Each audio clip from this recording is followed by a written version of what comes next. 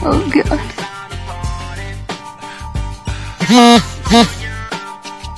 she just closed her door and looked at the freaking camera like so weird.